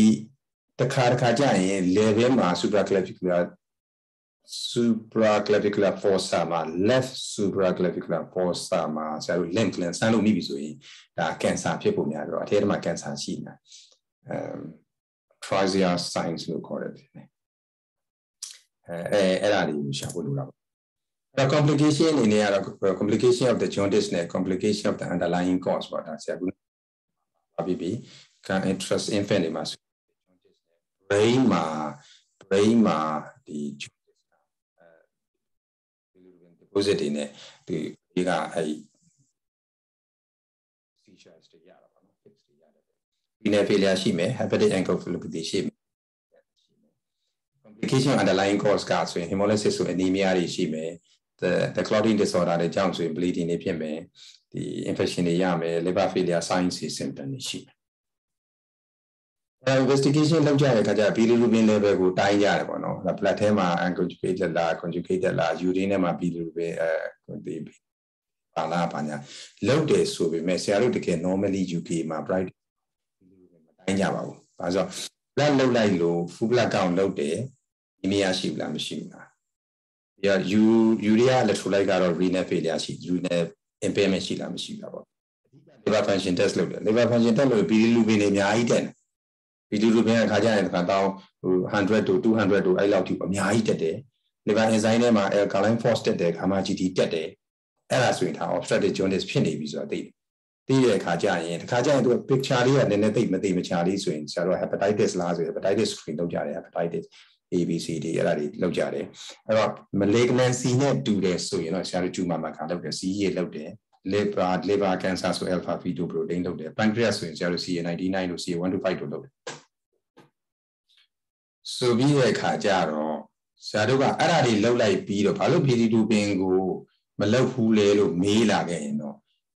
လှုပ်เสียမလို့လို့ပဲဘာလို့ဆိုတော့ cost ကိုသိကျင်နေဆိုရင်ခုန PD2 ပင်ဘာညာမလှုပ်တော့ဆရာတို့ imaging တန်းလှုပ်လိုက်တာအထောက်ဆောင်လို့ပါလှုပ်လိုက်တဲ့အခါကျရင်အထောက်ဆောင်မှာပြောတာက stone တွေ့တယ်လို့အမဟုတ်ဘူး CBD က dilatation ဖြစ်နေပြီ အဲ့တော့ pancreas ကတော့တေချာမမြင်ရဘူးဒါပေမဲ့ pancreatic cost ဖြစ်ဖို့များတယ်အဲ့ဒါ CD လောက်ပါဆိုရင် recommend လုပ်တယ်ဆိုရင်ဆရာတို့ CD လုပ် CD လောက်လိုက်ပြီဆိုရင်အများစုဆရာတို့တွေ့ရများတယ်ဒါပဲမှာပေမှာသွားပိတ်နေလဲဆိုတာပေါ့နော်အဲ့တော့အဲ့လိုတေချာအဲ့တော့ imaging အကြောင်းကို imaging အကြောင်းကိုဆရာတို့မပြောခင်မှာဒါလေးတွေ investigate လုပ်ချတဲ့အခါကျတော့အခုနဟာကိုပဲပြန်ပြောတာပါမှန်တော့ AST တို့ ALT နော် sorry အဲ့တော့ bilirubin တက်နေမယ် albumin ကတော့ liver နဲ့ပတ်သက်တဲ့ liver ကဘလောက် liver function ဘလောက်ကောင်းလဲဆိုတော့ albumin albumin နည်းနေပြီဆိုရင်ဒါ liver မှာထိနေပြီဆိုတာပြောတာ AST ALT ကတော့ liver cell ဘလောက် damage ဖြစ်လဲဆိုတာပြောတာဒါကြောင့် itis တို့ဘာလို့မှာ AST ALT တို့က1000တို့ဘာလို့ထိတက်တယ် alkaline phosphatase ကတော့ biliary obstruction မှာလည်းတက်တယ်တခြား bone disease တွေမှာလည်းတခြား pregnancy တို့မှာလည်းတက်နိုင်တယ် alkaline force နဲ့တွဲတွဲပြီးဆရာတို့ gamma GT ကိုပါတက်တယ်ကြည့်တယ် gamma GT ကပိုပြီး specific ဖြစ်တယ် biliary obstruction ရှိတယ်ဆိုရင်အဲ့ဒီ gamma GT လက်တက်တယ် alkaline force နဲ့တက်တယ်အဲ့တော့ liver screen လောက်ကြတဲ့အခါကျတော့ acute liver injury မှာဒါလုပ်တယ်ဒါတွေကဆရာတို့ medical နဲ့ပတ်သက်တဲ့ဟာတွေပါပြီးပါပါဆရာတို့ obstructive jaundice ဖြစ်တဲ့အတွက်ဆရာ rough idea လေးအဲ့တော့ imaging လုပ်ကြတဲ့အခါကျတော့အဓိက baseline က ultrasound လုပ်ကြတယ်ဆရာ ultrasound လုပ်ပြီးတဲ့အခါကျတော့မှ ultrasound က recommend လုပ်တဲ့ပုံမှန် malignancy CT လုပ်ခြင်းအဖြစ်ဘယ်နေရာမှာပိတ်လဲဆိုတာအတိအကျသိတယ်လို့ပဲဘယ်တွေ metastasis တွေပါရှိလားဆိုတာ contrast enhanced CT လုပ်ကြတယ်ပေါ့နော် အခါရခါကြရင်သူက biliary tract ကနေပြီးတော့ biliary tract ကြီးကပိတ်နေတဲ့အခါကျတော့ CBD တွေ dilatation ရှိနေတယ် ultrasound မှာလည်း gallbladder ထဲမှာ stone တွေရှိနေတယ်အဲ့တော့သူထင်တာကတော့ stone ပဲဖြစ်ဖို့များတယ်ဆိုရင်ဆရာတို့ MRI scan လုပ်တာပေါ့နော် MRI မှာဆရာတို့ MRCP ခေါ်တာပေါ့ဒီ magnetic resonance cholangiopancreatography ဆို MRCP လုပ်တယ်အဲလည်း ERCP ရဲ့ role ကတော့တစ်ခါတစ်ခါကျရင်ဒီ ampullary တို့ cholangiocarcinoma တို့မှာကျတော့ တိတ်တိတ်လေးတွေဆိုတော့သူကပိတ်တော့ပိတ်နေပြီးတော့သူကဘယ်နေရာမှာသွားပိတ်ပြီးဘယ်လိုပိတ်နေလဲဘာကြောင့်ပိတ်နေတဲ့ခါကျတေချာမသိဘူးခါကျဟာ benign structure လား malignant structure လားမသိ ERCP လုပ်ပြီးတော့ဆရာတို့ကအဲ့ဒီထဲကနေပြီး breast cytology လို့ပါလို့လုပ်ကြတယ်သို့မဟုတ် biopsy ယူလို့ရရင်ယူတယ်တပြိုင်တည်းထဲမှာပဲ obstruction ရှိနေတယ်ဆိုရင်သူ့ကိုဟို relief ပေါ့ decompress လုပ်တဲ့အနေနဲ့ stent လေးတစ်ခါကြီးထည့်ပြီးခဲ့တယ်အဲ ဒါလူနာ jaundice ကတိတ် deep ပြီးပြီး renal function impair ဖြစ်နေပြီးအာ scan တွေကအရန်ရားနေပြီဆိုရင်ဆရာတို့အဲ့ဒါကို stent လေးထည့်ပြီးလို့ရတယ်အဲ့တော့သူက diagnosis ကို um some sort of palliative measure ပေါ့နော် treatment တစ်ခုအနေနဲ့လည်းသူက stent ထည့်လို့ရတယ်ပေါ့နော်အဲ EUS က endoscopic ultrasound scan ကြတော့တစ်ခါတည်းရှာမရတဲ့ဟာခုနပြောတဲ့ CT မှာလည်းမတွေ့ဘူး MRCP ကလည်းနည်းနည်းလေး controversial ဖြစ်နေတာဟာဒီမှာ ဒီ endoscopy နဲ့ ultrasound ကိုထည့်ပြီးတော့အထဲထဲကနေမှသူက diagnose လုပ်လို့ရတဲ့ဟာတွေရှိတယ်။တခြားကတော့ cholangiogram တို့ HIDA scan တို့ percutaneous transhepatic cholangiogram တို့ကအဲ့ကောင်တွေကဆရာတို့ဒီမှာ row ကတိတ်ပြီးတော့မရှိတော့ဘူးဟိုတုန်းကတုံးတဲ့ဟာတွေပေါ့နော်ဒီမှာတောင်းတောင်းတုံးလေးတုံးဒါမရှိကြမရှိပါဘူး။ညာတော့ပြ MRCP တို့ CT contrast enhanced CT တို့နေပဲဆရာတို့ diagnose ရအဲဒီမှာဆံပုံလေးတွေပြတာလေဂေါဘလာတာထဲမှာလည်း stone တွေရှိ CBD ထဲမှာ stone တွေရှိတယ်အဲ CBD ထဲမှာ stone ရှိတဲ့အတွက် stone ရဲ့ biomass CBD မှာကျတော့ဥစားအိုင်းကမစင်းသွားတဲ့အတွက် CBD ကိုမမြင်ရဘူးအဲ့တော့ dilatation မြင်ရတယ်အဲ middle picture ကတော့ဆရာ Ascaris 1ကိုပြတာဒီဘက်က right ဘက်ကဟာကတော့အောက် pancreatic cancer မှာတော့ပိတ်နေတဲ့အတွက် pancreatic duct တွေလည်း dilatation ရှိတယ်လို့ပဲ CBD ကလည်း dilatation အကြီးကြီးပဲဖြစ်နေတဲ့ဟာတွေပါ အဲဒီဘက်မှာဘယ်ဘက်ကကောင်ကတော့ကိုလင်ဂျိုကာစီနိုမာကာစီနိုမာဖြစ်နောက်တစ်ခုကကြတော့ကိုလင်ဂျိုကာစီနိုမာပါပဲဟိုဘက်ညာဘက်တောင်ဆုံးကဟာတော့ right hepatic duct နဲ့ left hepatic duct နဲ့တော့ပေါင်းလိုက်တဲ့ junction အဲ့ဒါ Klaskin tumor လို့မေဒကပုံကတော့ကျွန်တော်ကို လီတိုကက်ဆစ်ဆိုတာ CBD ပေါ့ biliary tree မှာ dilatation ဖြစ်ကြတဲ့အခါကျတော့အဲ့ဒီဟာတွေကိုကိုလီတိုကက်ဆစ်မှာ different type တွေပေါ့သူကအဲ့ဒါမဲ့ဟိုသူ့ရဲ့ classification တွေပေါ့နော်သူ dilatation ဖြစ်တဲ့နေရာပေါ်မှာမူတည်တဲ့ဟာတွေဒါတွေကဆရာတို့အသေးစိတ်မပြော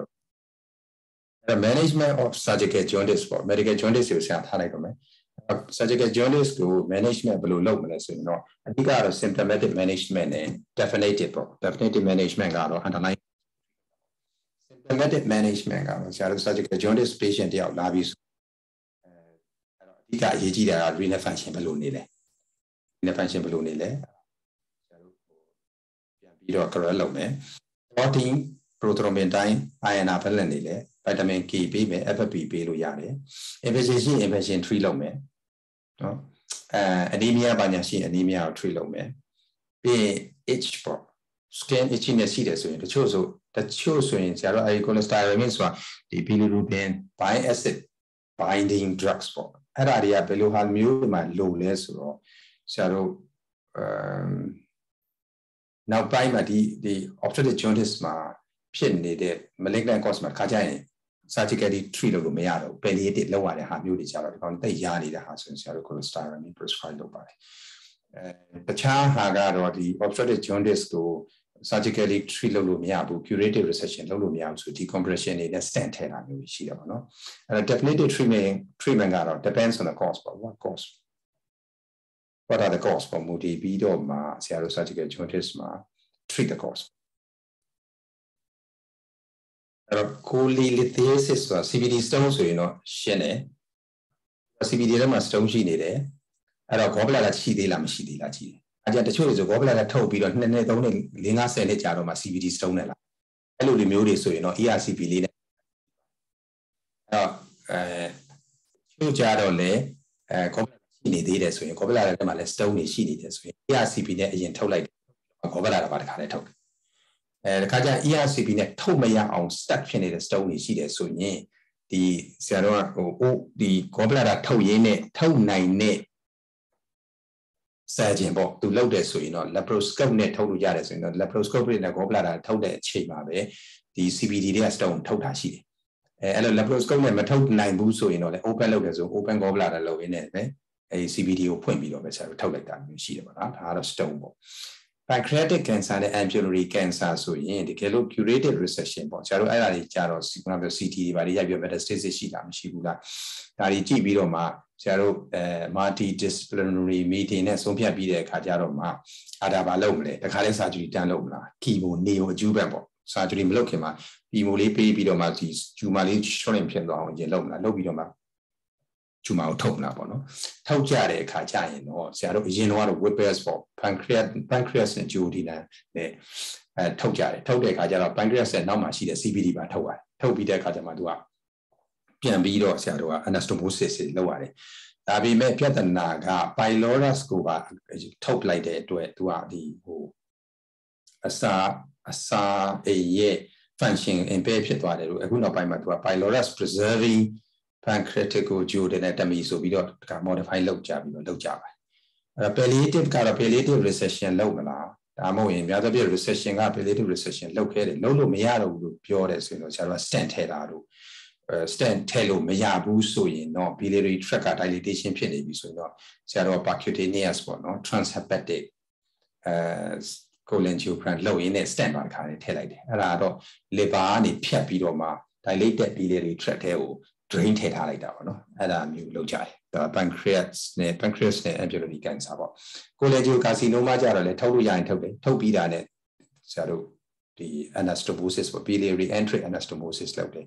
choledogasis ဆိုလည်းဒီလိုပဲ choledogasis ကိုထုတ်ပြီးတော့ anastomosis လုပ်တယ်အဲ့တော့ဘယ်လိုတွေလုပ်တယ်ဆိုတာတော့ဒါဒါကတော့ဒီမှာဟို pancreatic cancer ဆိုရင်ဒီဒီပန်းရောင်နဲ့ပြထားတဲ့ဟာပေါ့ပန်းရောင်နဲ့ပြထားတဲ့ဟာကို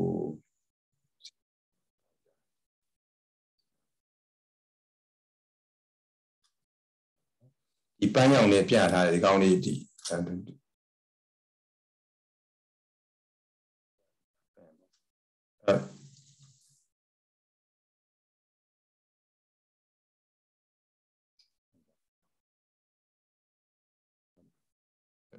ဒီအပိုင်းတွေကိုတစ်ခါလေးသူကထုတ်ပလိုက်တာဒီတစ်ပိုင်းလုံးကိုထုတ်လိုက်ပြီးတော့မှ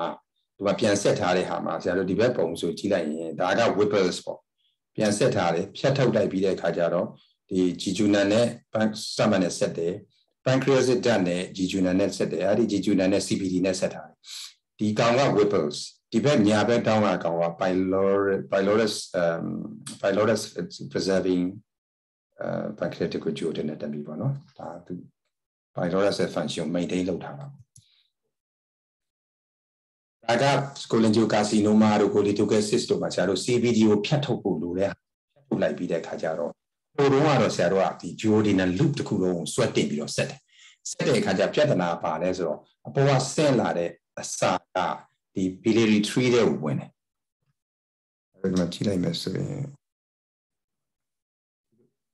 ဒါပြောစင်းနေဆိုရင်အဲ့ဒီအရာတွေလာတဲ့ကောင်ကဒီလိုဆင်းတဲ့အချိန်မှာပဲအစားဒီလိုသွားတယ်လို့ပဲဒီဘက် CBD တဲ့ကိုပြန်ပြန်ဝင်ပြီးတော့ဆရာတို့ကဒီ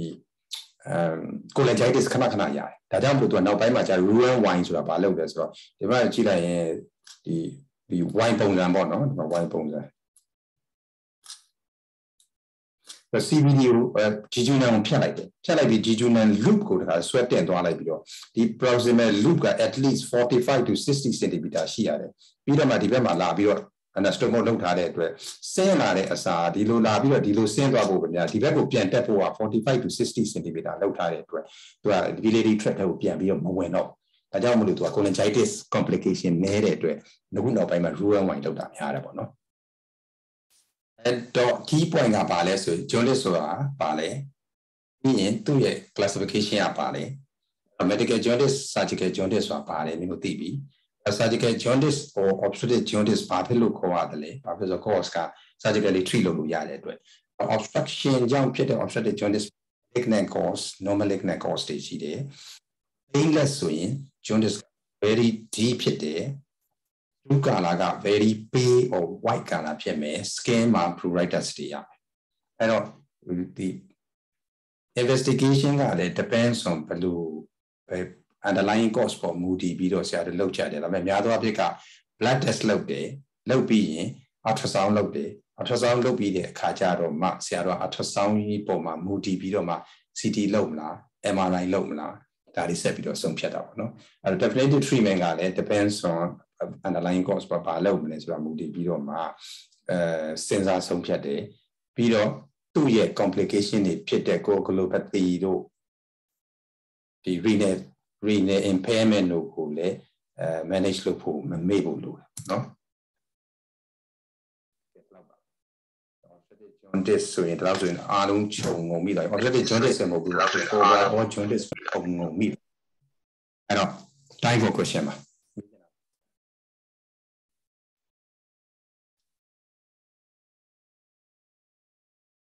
ဟုတ်ကဲ့ဆရာပထမဆုံးမေးခွန်းတော့ why viral hepatitis have more unconjugated why viral သူက viral hepatitis ကသူကများတဲ့ cholestasis ဖြစ်တယ်လို့ပြောတယ်အဲ့တော့ဆရာကတော့ medical သမားတွေပုံနားလဲလိမ့်မယ်ထင်တယ်ဟိုဒီ viral hepatitis ကဒီ pathophysiology မှာကိုသူက cholestasis ဖြစ်တယ်တော့နားတဲ့အတွက်ဟိုဟိုဟို conjugated လား conjugated လားဆရာမပြောမှာ အဲ unconjugated များတာများတယ် unconjugated များတယ်ဆိုတာတော့ဟိုရှင်းပါတယ်ဘာလို့ဆိုတော့ तू ကဟို liver က conjugation မလုပ်နိုင်လို့ပေါ့နိ liver function impair ဖြစ်တဲ့အခါကျတော့ဒီဒီဟို तू ကဒီ conjugation လည်းမလုပ်နိုင်ဘူး transport mechanism တွေလည်းပြတ်တဲ့အတွက်ဖြစ်တယ်လို့ပြောတာပေါ့နော် ဟုတ်ကဲ့ဆရာဒါပေမဲ့သူ့ရဲ့ဒါတော့သူ့ရဲ့ specific specific point ကိုသိဖို့များတာပါလေအဲပြောပါဟုတ်ကဲ့ဆရာ next question ကတော့ when patients start to develop jaundice what is the minimal level of bilirubin in the patient had already ဒါတော့သူဝင်လာတော့ဆိုနောက်ကျသွားတယ်ထင်တယ်ဆရာရှေ့ဦးမှာပြောထားတယ် bilirubin က normal level က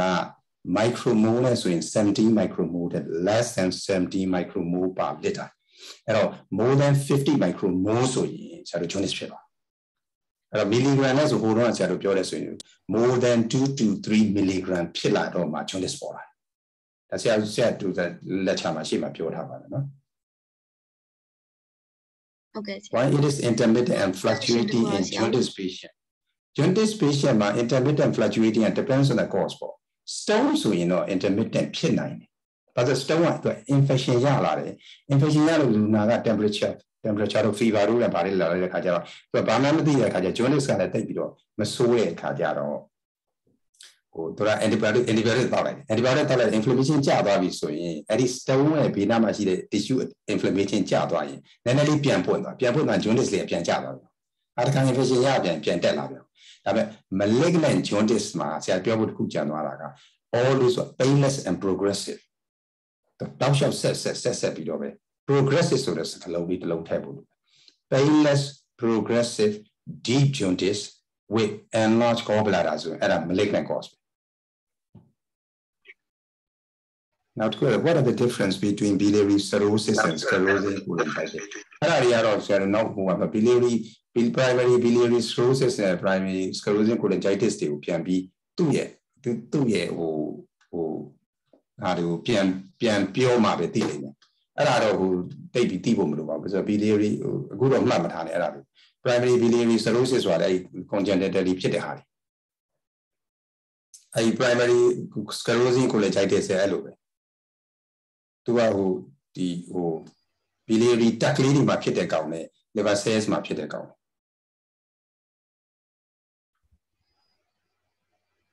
difference usefulness CEC10 and MRI okay သူကအဲ့ဒါလေသူ C contrast enhance CT ကတော်တော်များများဆရာတို့ diagnose လုပ်လို့ရတယ်အဲ MRI ကြတော့ MRCP က MRCP ကသူက MRI မှာလည်းနှစ်မျိုးသုံးမျိုးရှိတယ်သူက MRCP ကျတော့ biliary tree ကိုပဲသူကတေချာကြည့်ချင်တာအဲ့ဒါကြောင့်မလို့တခါကျရင် CT မှာ biliary duct dilatation ရှိနေပြီမဲ့တခါကျရင် underlying cause ကတိတ်မတေချာတဲ့ဟာမျိုးလေးတွေရှိတဲ့ခါကျတယ် MRCP ရိုက်လိုက်ရင် သူက biliary tree ကိုတေချာအသေးစိတ်ကြည့်လို့ရတဲ့အတွက်တခါကျရင် cholangiocarcinoma တို့အထဲမှာဖြစ်နေတဲ့ stone လေးတေချာကြည့်လို့ရတယ်အဲ liver ကျတော့တခါတခါကျရင် liver မှာ CT မှာရိုက်လိုက်ပြီးတော့တခါကျရင် liver ရှိမှရှိတဲ့ lesion လေးတွေကခါကျတိတ်ပြီးတော့ CT မှာပြောမရတာရှိတယ်ဒါ hemangioma လို့လို့ yo-yo cyst လို့လို့ benign cyst လို့လို့ malignant လို့လို့ဖြစ်တဲ့ခါကျရင် the radiologist ကခါကျရင် MR liver ဆိုတာရိုက်တယ် MRI liver MRI liver မှာနည်းနည်းလေးပို့ပြီး information တွေသူတို့ပေးနိုင်တယ်လို့ပြောတယ် which curative and palliative therapy is the best ဒါကတော့မေးမှုမလို့တယ် curative ရရင် curative ကအကောင်းဆုံး palliative ဆိုတာကတော့ palliative palliative ကတော့ curative မရလို့ palliative ကိုလုပ်ကြတာလေဒါ curative ဆိုတော့အမှ cause ကဟိုမ cancer ဆိုရင် cancer မှာ curative ရတယ်ဆိုရင် तू ကဒီ cancer အလုံးကိုထုတ်တယ်လို့ပဲအနားမှာရှိတဲ့အဲဒီဒီအဲ lymphatic drainage ပေါ့ lymph node တွေပါထုတ်ကြတော့ ဒါမှ तू curative ရမှာပေါ့ palliative ကြတော့တစ်ခါတစ်ခါကြရင်ဟိုတချို့တွေကလည်းထုတ်ကြပါတယ်။ဒီမှာ CA pancreas ဆိုအဲ့ဒါကတော့ depends on multidisciplinary meetings decision ပေါ့ဒီ tumor ကိုထုတ်လိုက်လို့ဒီ tumor ကိုထုတ်လိုက်လို့ curative မရနိုင်ဘူးတို့ပေမဲ့ထုတ်လိုက်ရင်သူ့ရဲ့နောက်ပိုင်းဖြစ်လာမဲ့ complication ကိုအဲအဲကာကွယ်ပေးနိုင်တယ် prevent လုပ်နိုင်တယ်ဆိုရင်တော့လေထုတ်တာမျိုးတွေရှိတယ်ဥပမာ ဥပမာထားပါတော့ဥပမာ pancreas pancreatic cancer ကတကယ်ကို advance ဖြစ်လာပြီဆိုရင် back pain တွေအရင်ရတယ်အဲ့တော့အဲ့ဒီ back pain တွေမရအောင်လို့ပဲလေးတွေထုတ်လိုက်ပါလားလို့တကယ်လို့များသူတို့ပြောလာခဲ့ရင်ထုတ်လို့ရတာမျိုးရှိတာပေါ့နော်ဒါပေမဲ့ pancreatic cancer မှာ palliative resection ဆိုတာဆရာတော့မချဘူးမထုတ်ဘူးများတော့ဖြစ်ဘာလို့သူထုတ်ရင် तू ကသူ့ရဲ့ဒီဟိုထောက်ရတာတွေအများကြီး anastomosis တွေအများကြီးအဲ့တော့ palliative လုပ်ရင်းနဲ့မှာအဲ့လူနာ complication တွေရပြီ palliative ပေါ့နော် palliative ဆိုတဲ့သဘောကဘာလဲဆိုသူ့ရဲ့ life expectancy ပေါ်မူတည်ပြီးတော့မှ quality of life ကိုကောင်းစေခြင်းလို့လုပ်ပေးတာလေ quality of life ကိုကောင်းစေခြင်းလို့လုပ်ပေးရမှာ quality of life မကောင်းမဲနဲ့ဟိုဟိုပို့ပြီးတော့စိုးသွားမယ်ဟာမျိုးတွေမလုပ်ဘူး Can you explain how does anemia occur in obstructive jaundice obstructive jaundice မှာ anemia ကဖြစ်ပုံများတာ secondary ပေါ့များသောဖြင့် jaundice ဖြစ်ပြီးတဲ့အခါကျတော့လူနာက loss of appetite နဲ့ weight loss နဲ့အဲမစားနိုင်မတောက်နိုင်အကြာကြီးဖြစ်ရင်ဒါ anemia ရမှာတောင်းတောင်းမရပါဘူးဘယ်လိုဟာမျိုးမှရတတ်လဲ obstructive jaundice ဖြစ်ပြီးတော့ liver function impair ဖြစ်လာတဲ့အခါကျရင်သူက clotting factor တွေမထုတ်နိုင်မထုတ်နိုင်တဲ့အခါကျတော့ bleeding မှာတွဲရ bleeding တွဲရလို့ anemia ရတာ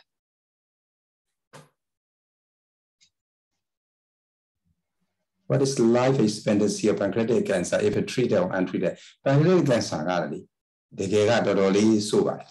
pancreatic cancer ဘာလို့တကယ်ဆိုးတယ်ဆိုတော့ pancreas မှာဖြစ်တဲ့ကောင်ကသူဖြစ်နေတာကြာဖြစ်နေတာကြာပြီသူမပိတ်ဘူးမပိတ်ဘဲနဲ့သူအဲ့နာမှာပဲနေနေတယ်ကြီးကြီးကြီးကြီးလိုက်ပြီသူပိတ်တဲ့အချိန်ကြာရင်တော်တော် advanced ဖြစ်တယ်ဒါတော့ pancreatic cancer ကသိပြီဆိုရင်80%လောက်ကသူပြန်သွားဖြစ် curative မရတော့တာများမရတဲ့အတွက် pancreatic cancer ဖြစ်လာပြီဆိုရင်သူ့ရဲ့ life expectancy ကများတော့ဆရာတို့တော့6လလို့လို့ 3လောက်လို့မရဘူးဆိုရင်6လလောက်ဆိုသွားလာလူနာကြီးကအခုကြည့်ရင်အကောင်းကြီးနောက်6လလောက်ဆိုမရှိတော့အဲတကယ်လို့ဥစားလုံးလို့ရတယ်ဆိုရင်တော့ဆရာသေချာတော့မမှတ်မိတော့ pancreatic cancer လောက်ပြီးပြီဆိုရင် life expectancy က2 year နဲ့ပဲပြောကြ5 year ဆိုရင်တော်တော်နည်းပါတယ်5 year လည်းတိတ်အများကြီးပဲရအောင်50%လောက်ပဲရမယ်ထင်တယ် how to correct metabolism and complication အဲ့ဒါကခုနပြောတယ်ဆက်ပြောတယ်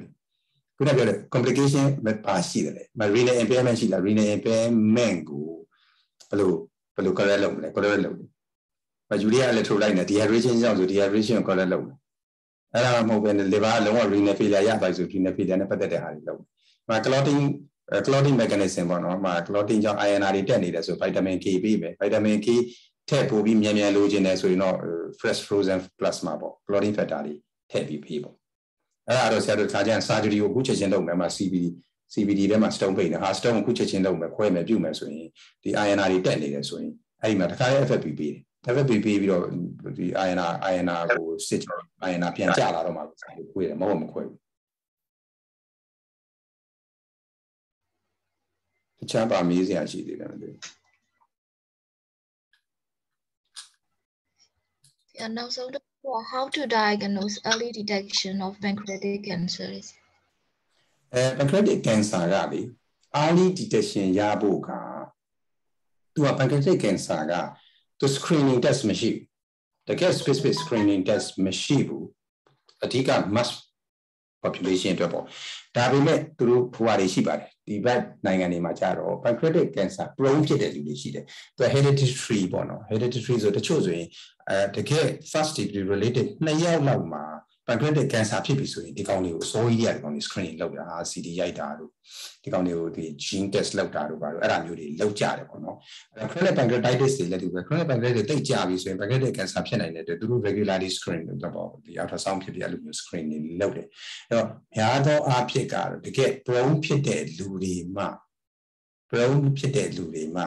အမ်ဆရာဒီမှာ pancreatic cancer အကြောင်းလေးကိုဒီမှာ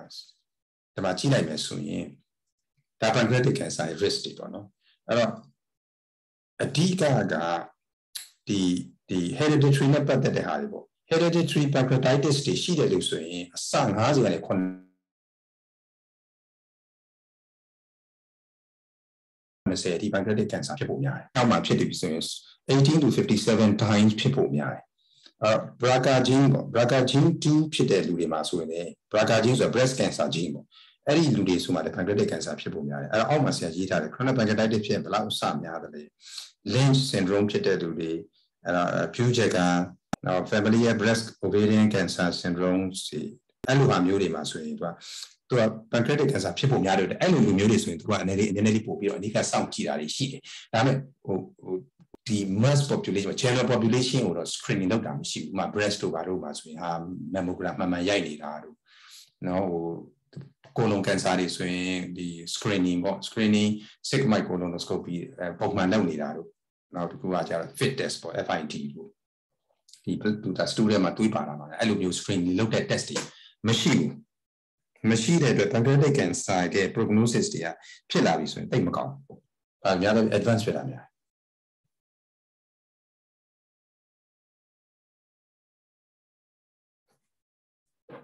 တခြားပါ question တွေ next ရှိတယ် question ကတော့ question တွေရှိတယ်ဟုတ်ကဲ့ဆရာဟော EUS versus ultrasound ကိုသိချင်ပါတယ်လေဆရာ EUS versus ultrasound normal ultrasound ဆိုတာ trans abdominal လေ normal ultrasound ဆိုတာ abdomen ကနေပဲ ultrasound လိုက်တာမဟုတ်ဘူးအဲ့ဒီကောင်က तू ကဒီ abdominal wall ပေါ်မှာမူတည်ပြီးတော့ abdominal wall က fat တိတ်ထူတယ်ဆိုရင် तू ကြည့်ရခက်တယ်။ဘုအထဲထဲမှာလည်း fat တွေအများကြီးရှိနေကြည့်ရတော့တော့ခက်တယ်။ EUS ကြတော့ तू က endoscopic ultrasound endoscopic ultrasound ဆိုတော့ तू က endoscopy လို့ပဲသူက gastroscope တို့ဘာတို့လို့ပဲထုတ်လိုက်ဟိုဂျိုဒီနန်နဲ့အထိရောက်လိုက်ပြီးတဲ့အခါကျဂျိုဒီနန်နဲ့ရောက်တဲ့အခါကျမှ pancreas နဲ့ကတ်နေပြီသူကတော်တော်ကိုကတ်နေပြီဂျိုဒီနန်ဂျိုဒီနန်ဝေါ်လေးပဲပါးပါးလေးပဲရှိတော့တယ်အဲ့ဒီမှာ ultrasound နဲ့ရှာတဲ့အခါကျတော့ဒီကောင်ကအထဲထဲမှာရှိတဲ့သေးသေးလေးဒီမှာသေးသေးလေးအစားကြည့်ရတယ်ကြည့်ရတဲ့အပြင်မှာသူကတကယ်ကို localize အဲ့ထဲမှာသူက biopsy ယူလို့ရတယ် ultrasound မှာလည်း biopsy ယူလို့ရတယ်ဒါပေမဲ့ ultrasound က ဒီ trans abdominal ultrasound ကြောင့်သူနေတ biopsy ယူ ultrasound တဲ့ biopsy ယူပဲ तू ကဖြတ်သွားမယ်ဟာဝေးဟို abdominal wall ကနေပြီးတော့ तू ဖြတ်သွားမယ်ဟာဟိုအောက်ထဲရောက်နေလိသွားဆိုတော့ ultrasound တဲ့ဆိုင် pancreatic lesion တွေ pancreatic tumor တို့ဘာလို့ဆိုရင် endoscopic ultrasound ကပို့ပြီးတော့ accurate ဖြစ်တယ်သို့ပေမဲ့နေရာတိုင်းမှာမရနိုင်တကယ် specialist center တွေမှာမရဟုတ် ဒီ CBD stone နေတယ်ဆိုလည်းဒီလိုပဲ pancreatitis မှာ pancreatitis မှာဆိုရင်တချို့ဆို pancreatitis ကဖြစ်နေတယ်ခဏခဏ pancreatitis ဖြစ်တယ်ဘာမှလည်းရှာလို့မရ ultrasound မှာရိုက်တော့လဲ stone မလို့ MRCP လည်းရှာမရဘူးအဲတခါကျရင် endoscopic ultrasound နဲ့ရှာတော့မှ distal CBD မှာတကယ် stone သေးတဲ့လေးတွေ microlithiasis တွေတွား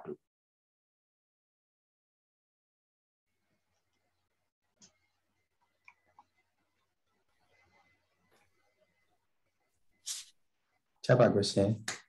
next question ဟုတ်ကဲ့ဆရာ next Uh, what is the common cause of death in pancreatic cancers? Yeah.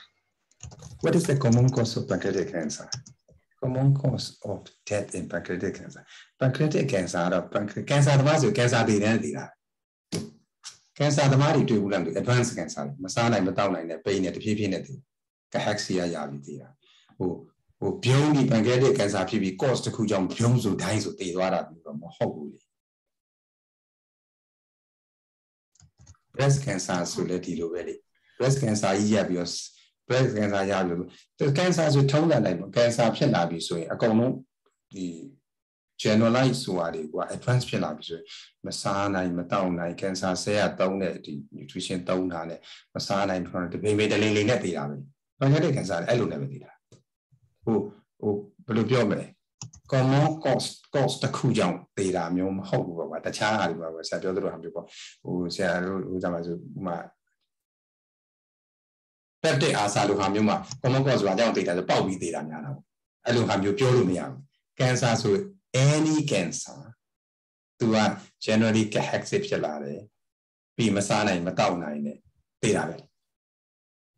အဲ့တော့ common cause of death လို့ ပြောလို့မရဘူးကိုမျိုးကန်သဘောတူလားမသိ အဲဆရာဟိုဟုတ်တယ်ဆရာကန်ကန်ဆာကတော့ဒီကန်ဆာသေးတဲ့အခါမှာကျွန်တော်တို့ဒါနဲ့တခုကြီးလိုမျိုးကြီး pin point လို့ပြီးပြောလို့မရတာဘူးเนาะဆရာပြောလို့မစားနိုင်မတောင်းနိုင်တဲ့ cachexia ဖြစ်ပြီးတော့သုံးသွားတာပဲ သုံးကြတာ ခါလီမလည်းခါလီမလည်းကန်ခါလီမလည်း cancer complication နဲ့ set တည်တာလည်းရှိပါတယ် set ဖြစ်ဝင်ဒါမှမဟုတ် bleeding ဖြစ်အထက်မှာ perforation ရအဲ့ဒါမျိုးနဲ့တရားလည်းဖြစ်တယ်တချို့ဟာကြတော့တခါတည်းကို depimitally နဲ့တခါတည်း cachexia နဲ့အဲ့လိုမျိုးသုံးသွားတဲ့လူတွေကလည်းအများကြီးပဲဟုတ်တယ်အဲ့တော့အဲ့တော့အဲ့ဒီအဲ့ဒီအဲ့ဒီဟာကိုဘာဘာလဲ cause of death ကအဲ့ဒီအချိန်မှာ cancer ပဲပေါ့ cancer ဘာမှမဟုတ်လို့မအဲ့မှာမှာမှာတကယ်လို့ infected complication လို့ infected complication secondary to cancer ပေါ့ ဒါဟုတ်ဆရာတို့အဲ့လိုဟိုဟုတ်ကဲ့ဆရာဒီဟိုဗာလဲ death certificate လုပ်ကြတဲ့ခါကျအဲ့လိုလုပ်ကြတယ်လေဟိုမှာ pancreatic cancer မှန်းလာတယ်သိသွားတယ်သိတာမှာ immediate cause ရှင်တော့ရတာပေါ့ဟာ cancer ကြီးဖြစ်ပြီးတော့မှအာ infection ဝင်လာတယ် infection ဝင်လာပြီး infection နဲ့တည်တယ်ဆိုရင်အာ septicemia နဲ့တည်တယ် first first immediate cause ကတော့ septicemia ပေါ့အဲနောက်နောက် cause က pancreatic cancer ပေါ့တော့မို့ရင်ဟာ pancreatic cancer ဖြစ်ပြီးတော့လေဥစ္စာပေါ့ clotting disorder တွေရတယ်ပြုံးဆိုလူနာကြီးက bleeding တွေရပြီသေးတယ် ဥပမာသူ့မှာလည်း underlying peptic ulcer ရှိတယ်ဆိုအာသွေးအန်ပြီးသေးတယ်ဆိုရင်သွေးအန်သေးတယ်ဒါပေမဲ့သွေးအန်သေးတာကဘယ်ကသေးတာလဲဆို peptic ulcer ကြောင့်သေးတာအဲ့တော့ bleeding from peptic ulcer နဲ့သေးတယ်ဒါပေမဲ့ underlying နောက်တစ်ခုနောက် underlying cause တစ်ခုကတော့ pancreatic cancer ပေါ့အဲ့တော့ဟို common cause of death ဆိုတာပြောလို့တော့မရဘူး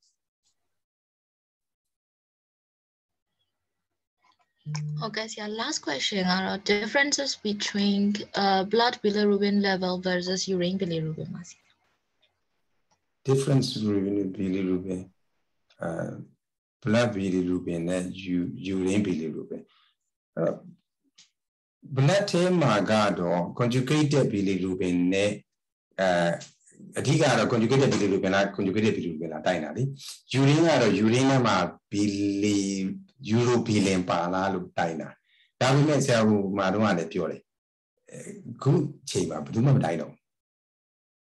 ဆရာကလည်းလက်တွေ့မှာ practice မှာလည်းမတိုင်းဘူး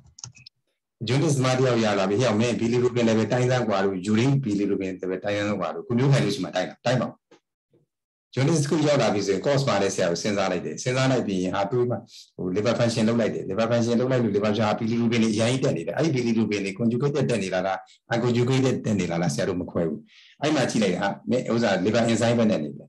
အဲ alkaline phosphate တက်တယ် gamma glutathione power အများကြီးတက်နေ bilirubin ကလည်းဟာ100တို့200တို့တက်နေပြီဆိုရင်ဒူနာလည်း brain test နဲ့လာတယ်ဒါ malignant cause ဖြစ်ပုံက ultrasound လုပ်လိုက်ကွာတခါကျရင် ultrasound တော့မလုပ်တော့ဘူး CBC contrast နဲ့ CT တန်းလုပ်လိုက် CT တန်းလုပ်တာ CT လောက်လိုက်တာနဲ့ထွက်လာတာပဲဟာဟိုမှာကောပလာတာကြီးရတယ်ပေါင်းနေပြီ CBD ကြီးရတဲ့အတိုင်းလေးဖြစ်နေပြီ pancreas မှာလည်း mass ကြီးတွေ့နေတယ်ဆိုရင်အဲ့ဒီချိန်ကျရင်ဆရာတို့ကဘာပါလုပ်လဲအဲ့တော့အဲ့တော့ကြမှာဟဲ့အဲ့ဒါဆိုရင်တော့ all the whole body CT လောက်သွားဆိုရင် CT chest တို့ CT brain တို့ CT pelvis တို့အကုန်လုံးလောက်တဲ့အခါကျတော့ဟာဘယ်နာတွေမှာပါ metastasis ရောက်နေပြီအဲ့ဒါတွေပါသိတာလေအဲ့တော့ ဒါက academically တော့သိထားရင်ပိုကောင်းတာပေါ့သိတယ်မလားဒါက pre-hepatic ulcer hepatic ulcer ဟိုနောက်တစ်ခုကျ CD မရနိုင်တဲ့ဟာမျိုးတွေပါဆိုရင်တော့ CD CD မရနိုင်တဲ့နေရာမျိုးတွေမှာအဲ blood test ကဒီလိုမျိုး reagent အနေနဲ့လောက်နိုင်နေဆိုရင်တော့ဒါနဲ့ခွဲလို့တော့ရတာပေါ့ဒီဒါမဲ့ဟို CT တို့ဘာတို့ရတဲ့နေရာတွေမှာတော့ဆရာတို့အဲ့ဒါတွေမလုပ်တော့ပါဘူး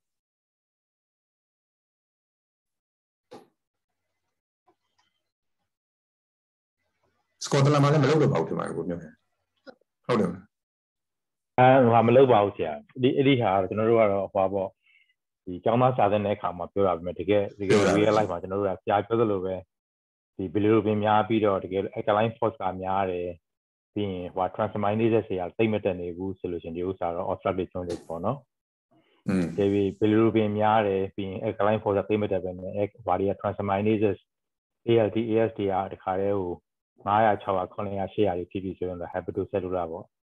ဒါပေါ့အဲ့ဒါနဲ့အဲ့ဒါနဲ့ imaging နဲ့နှစ်ခုပေါင်းလိုက်လို့ရှိရင်အဖြေကထွက်နေတဲ့ခါကျတော့ဒါလည်းပို့ပြီးမလိုအပ်တဲ့ investigation တွေမလုပ်တဲ့ဘောနဲ့ပြပါတယ်ကြည့်ရတယ်ဟုတ်တယ်ဘာလို့လဲဒီကျွန်တော်တို့ investigation ကအထူးဖြစ်ဆရာဗမာပြည်မှာဗမာပြည်မှာတွေ့တွေ့နေတာကတော့လူနာကလူနာကဒီနေ့ဒီနေ့ physician တယောက်နဲ့ပြတယ်အဲ့ဒီ physician ကဆက်လိုက်လို့ပြောလိုက်တာနဲ့စစ်လိုက်တာမှအစအဆုံးကိုတခါလဲဟိုဘယ် လိုပြောမလဲ hepatitis လည်းပါတယ် HIV လည်းပါတယ် blood ဆိုတဲ့အကုန်စစ်တာအကုန်စစ်တာစစ်တာစစ်တာအကုန်စစ်အခုဆိုဒီတိုင်းမှာရတယ်လို့ဒီတိုင်းမှာတွေရတယ်စစ်တာစစ်အဲ့ဒါလည်းပြီးတော့သူကနောက်ယောဂတစ်မျိုးအတွက်ကိုနောက်ထပ် physician တယောက်ကိုတွားပြ3ရက်လောက်ကြာတော့တစ်ခါတွားပြအဲ့3ရက်လောက်ကြာတယ်တွားပြတဲ့ခါကျဆရာဝန်ကလည်းဟေးသူစစ်နိုင်အောင်ဆိုရင်အဲ့စစ်ပြီးသားကိုအခါအစားဆုံးပြန်စစ်တယ်လူနာပေးလိုက်ရတဲ့ပတ်စံပိန်းနဲ့ချီပြီးပေးရတယ်ဒီမှာလည်းဒီလိုပဲ full blood count တစ်ခုတစ်ခုစစ်ဖို့အတွက်ဆိုရင်ပေါင်20လောက်ကို